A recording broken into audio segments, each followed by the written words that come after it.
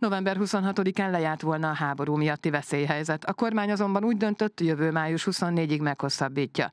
Az Ukrajna területén fennálló fegyveres konfliktusra, illetve humanitárius katasztrófára tekintettel, valamint ezek magyarországi következményeinek az elhárítása és kezelése érdekében kihirdetett veszélyhelyzetet tavaly november 1-től hirdette ki a kormány.